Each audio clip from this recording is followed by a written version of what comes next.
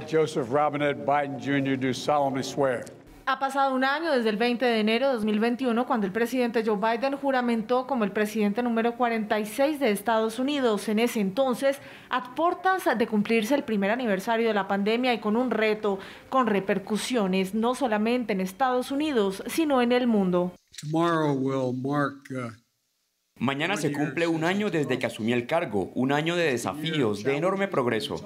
Pasamos de 2 millones de personas vacunadas en el momento que asumí el cargo a 210 millones de estadounidenses totalmente vacunados hoy.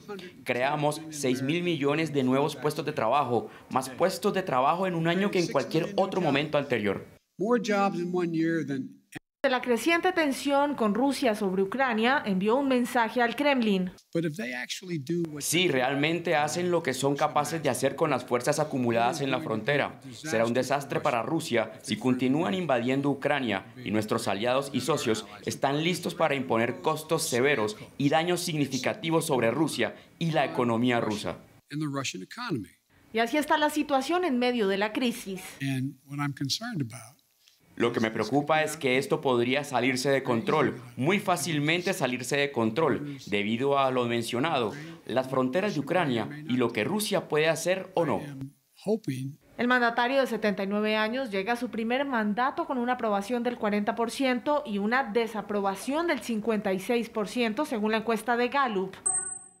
Biden llegó a la Casa Blanca en enero con el propósito de alcanzar algo de normalidad para la Navidad de ese año, pero las variantes Delta y Omicron, lejos de hacerlo posible, complicaron aún más la situación, incluso registrando récords de contagios desde el inicio de la pandemia. Sin embargo, se había comprometido con 100 millones de vacunas en sus 100 primeros días de gobierno, una cifra que superó y sobrepasó el objetivo de vacunación nacional cumplió con su promesa de campaña de reducir el permiso del oleoducto Keystone XL, proteger la Reserva Natural Nacional del Ártico y regresar al Acuerdo Climático de París. Lo que falta por cumplir han sido las reformas en el Programa Nacional de Concesiones de Gas y Petróleo.